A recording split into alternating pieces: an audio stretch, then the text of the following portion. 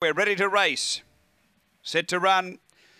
They're away. Speed practice run off the inside. Favourite's going to hustle up and grab the lead early from Sea Sunrise. Next, Lectra Dame, Bourbon Club. Then Optic Braid, Travel Ticket, Azumi Swift and Galactic Dragon. Down the back, practice run.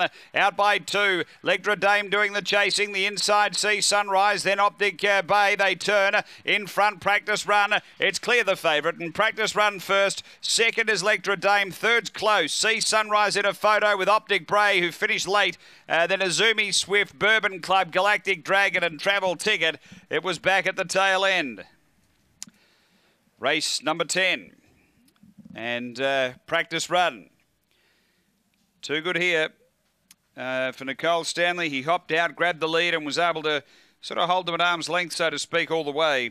And has been too strong. The Champagne Syndicate, managed by S. Smith, the Black Dog, February 2015. Barcia Bale, Muse Me.